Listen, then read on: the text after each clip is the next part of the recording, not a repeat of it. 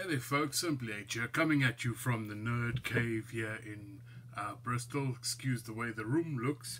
Um, it's crazy, I was uh, filming the video earlier for my predictions and nothing came out. So I'm going to try it again and hopefully this time it works. So Daniel Bryan and Brie Bella is fighting the Miz and Maryse. My prediction there is Daniel Bryan and Brie Bella to take the win.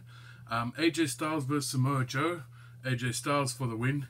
The New Day versus uh, the Rusev Day. Obviously, I'm going for the New Day there. They just got the title, so I don't think they'll relinquish him so soon. Roman Reigns versus Braun Strowman.